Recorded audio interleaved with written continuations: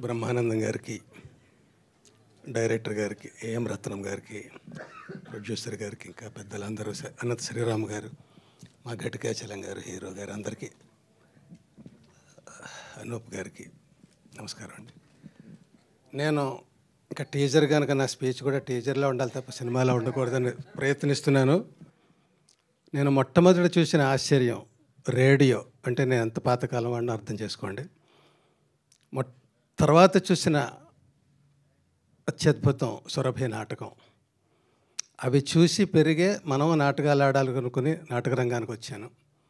నాటక రంగంలో చాలా కృషి తర్వాత సినిమా రంగానికి వచ్చాను. తర్వాత అక్కడ కృషి తర్వాత షార్ట్ ఫిల్మ్స్ అని చేస్తున్నాను.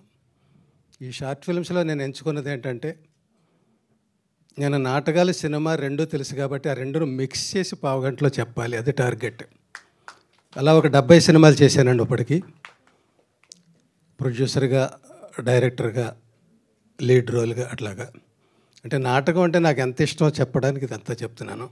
ఇంకా నేను నాటకాన్ని వదిలిపెట్టలేదని చెప్పడానికి కూడా ఇది చెప్తున్నాను.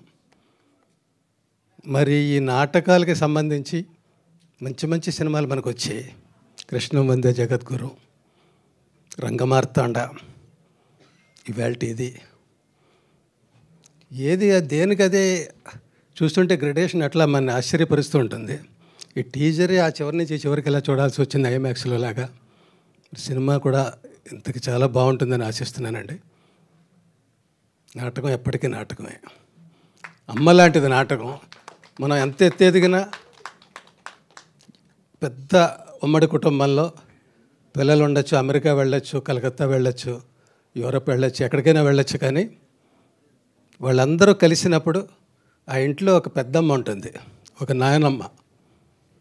ఆమె నాటకం. తల్లిని మర్చిపోకూడదనేదే నాటకం. నాటకంలోంచి పుట్టిన అనేక రూపాలే ఇవాళ కళారూపాలు. జై నాటకం జై ఉత్సవం. ఆ తల్లిని గౌరవించినప్పుడే మనకు ఉత్సవం. Thank you